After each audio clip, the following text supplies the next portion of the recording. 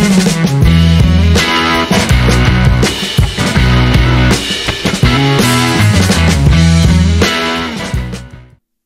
everyone, it's Leen from ColoradoLeen.com. Welcome back to the craft room. Let's make a t-shirt with some Siser Glitter HTV today. This coming weekend, July 12th and 13th, is Bobstock weekend, and I am going to make myself a Three Dog Night concert t-shirt. So a few of the things we're going to need, obviously, Siser Glitter HTV. I'm going to be using Old Gold. I will be putting my design on a Gildan Heavy Cotton Ladies V-neck t-shirt. I picked this one up from Michael's, but there are other locations online that you can get these from. We'll need a lint roller, a tape measure. I have my PinPen weeding tool and a Cricut weeding tool. To cut the vinyl, I will be using my Cricut Explore Air 2 and a standard grip cutting mat. Um, my mats are getting a little less sticky, so I may or may not need to use some painter's tape to hold that HTV down.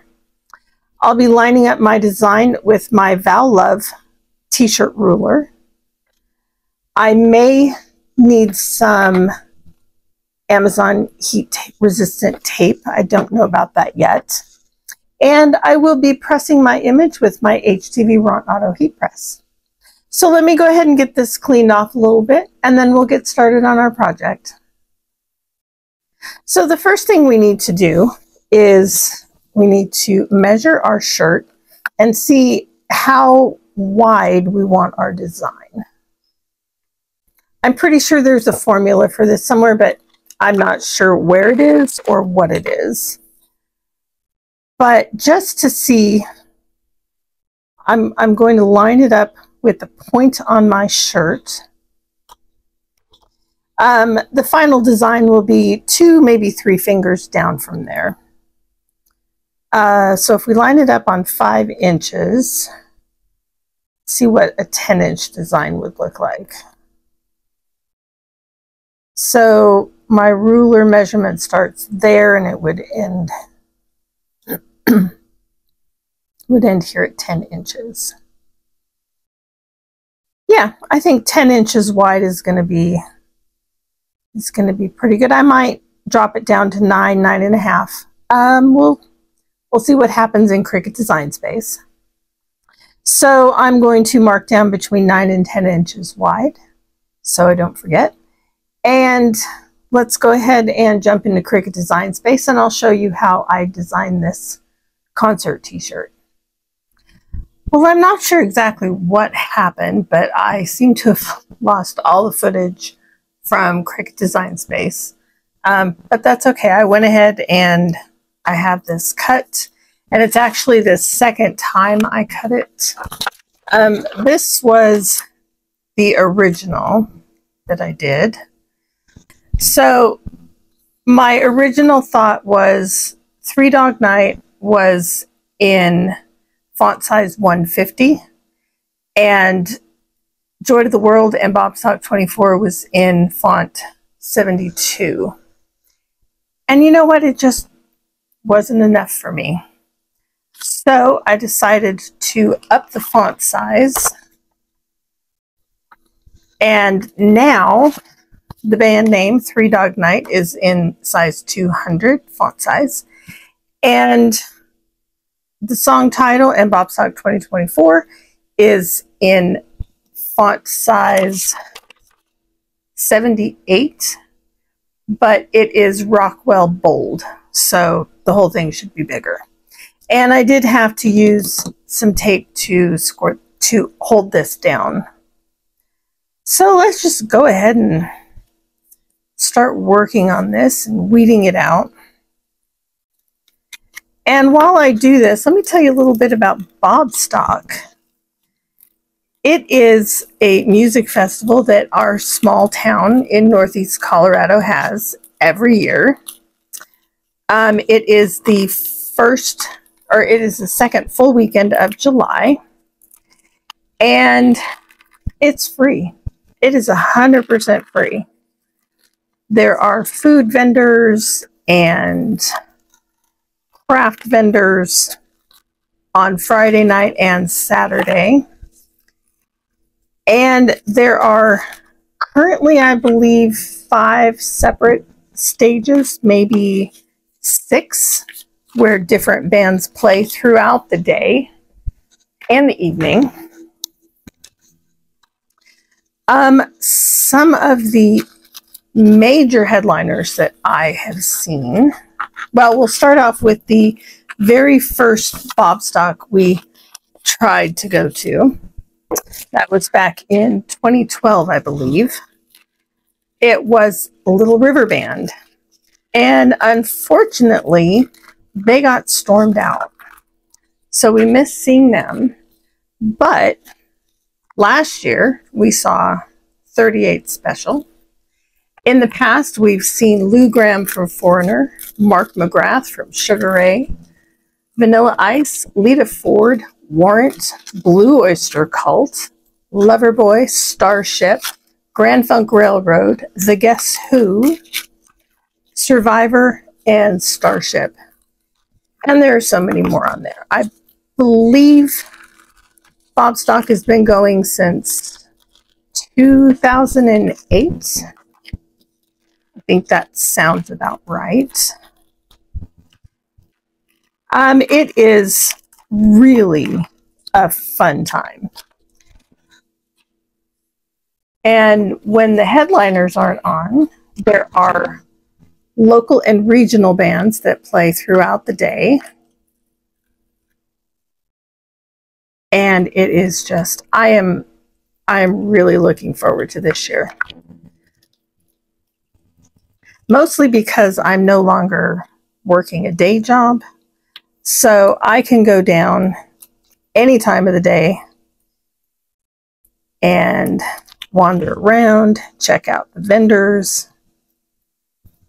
I can just enjoy the entire the entire thing. And I am really looking forward to that. So I'm just going to go ahead and speed through the rest of the weeding and I will be back with you in a bit. Oh yeah. Okay. That's going to look so much nicer on the shirt. It's going to be a lot bigger, bolder. Yeah. Oh yeah. I like that much better. I'm glad I decided to change that. Okay. I'm going to clean up and then we will be back with each other in a minute and we'll move on to the next step. All right, so moving on to the next step, the first thing we need to do is we need to clean our shirt with the lint roller. Um, I did already pre-press this to get some of the wrinkles out.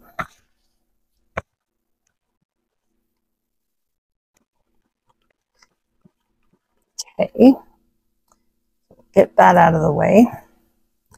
And now we're going to bring in our t-shirt ruler. I can get you a good look at that. Um, this is the adult size and it's for a scoop neck and you can also do a v-neck with this. So that's pretty handy.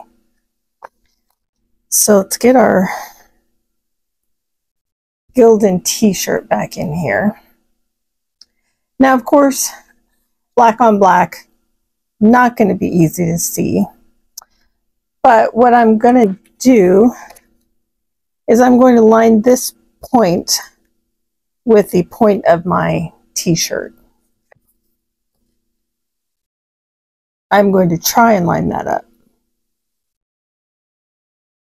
Let's, let's see, maybe if I can put this card in here. Just cover up some of that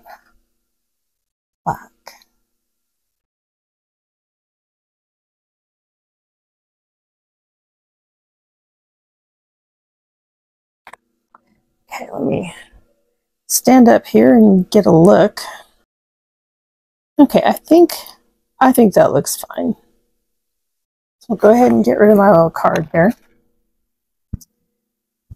And here is my completely weeded design. I think this is going to look beautiful on here. So the first thing I want to do is I want to find the center of this. So I'm going to fold it sticky side out. And because I have a weeding box, I'm just going to line those lines up a little bit. And then up here at the top, I'm going to make a, a crease in my plastic. And that should be the center of my design. So I'm going to stand up here again. And I know you're supposed to do two to three fingers down from your collar, but I think I'm going to go up pretty close. In fact, I'll probably, because I have so much space here from the top of the plastic to the design, I might just line that up right at the tip of the collar. And then I think that'll be down far enough.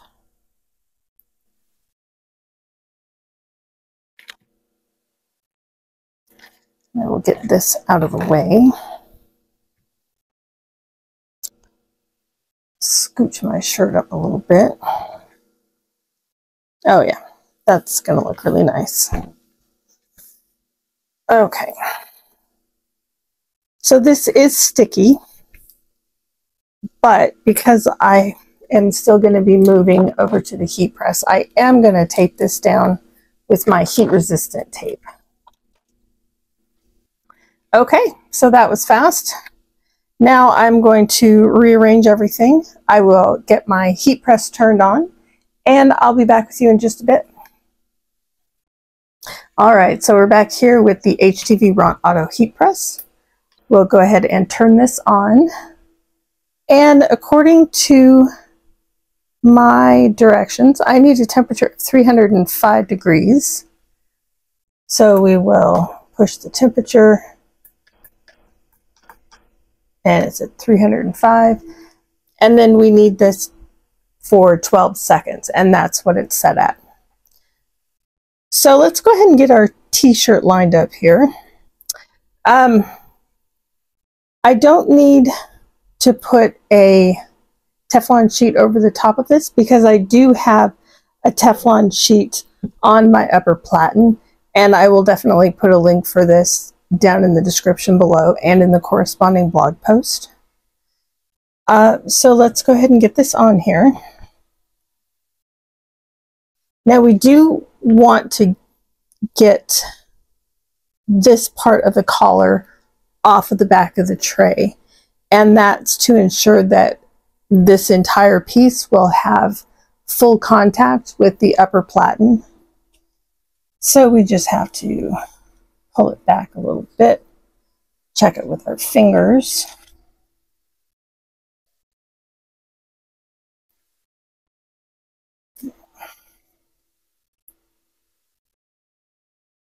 There, and that should be fine. And now we'll just hang out and wait for the heat press to come up to temperature.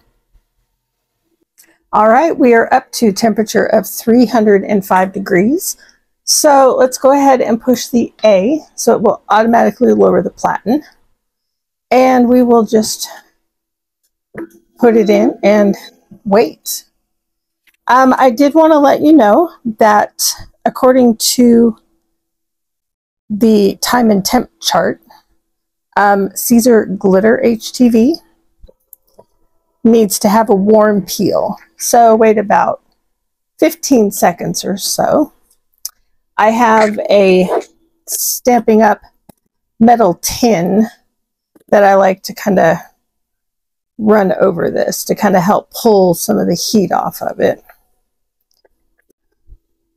Ooh, that's hot.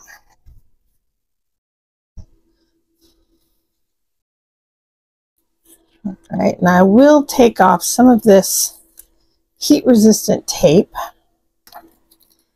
And let's start peeling. And of course, as with all heat transfer anything, we want to make sure we go slow to ensure that everything is stuck down.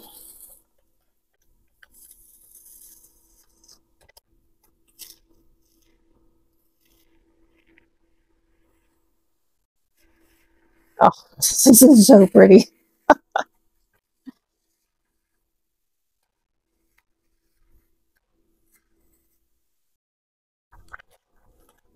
This is so, so pretty.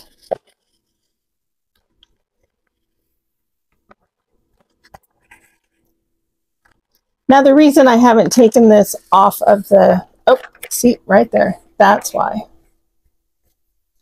So I had one letter kind of pop up. So we will put that down. I'm going to go ahead and put the rest of this tape off first. Just so we can start peeling from the other side.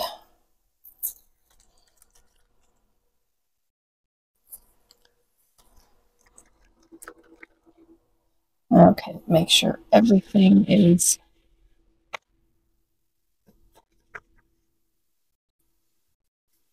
All right, and then I'll just put that in for another, yeah, we'll just run another 12 seconds. Okay, and then I will use my metal box again and just kind of start to cool this down a little bit.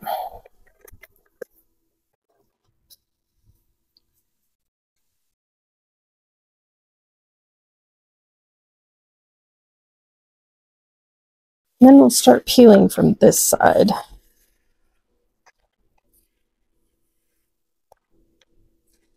Nope. Nope, that's still coming up. Okay.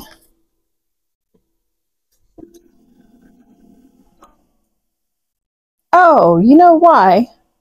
Okay. Yeah, okay. My bad. That's my bad. Siser Easy Weed is 305 degrees. Siser Glitter is 320 degrees. No wonder it's not coming up. okay. Well, I need to make better notes.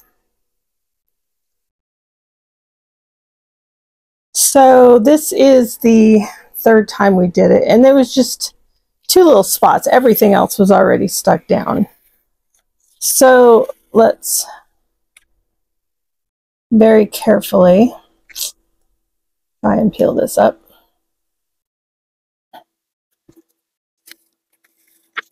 So most of this was already done.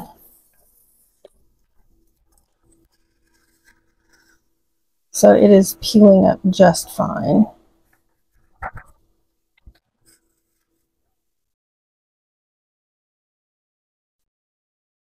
Let's get that J.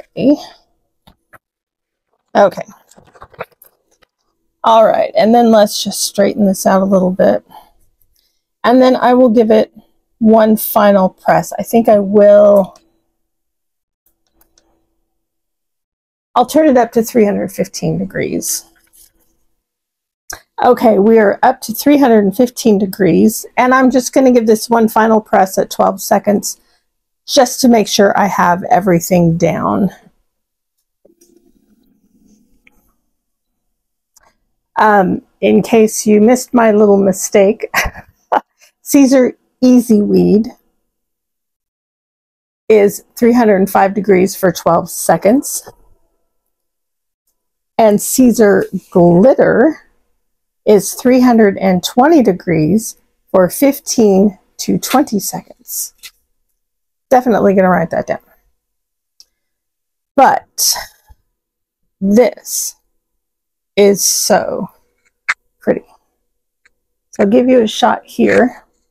And then I'm going to go ahead and turn everything back around and I'll give you another, another, a, a better look at the finished shirt.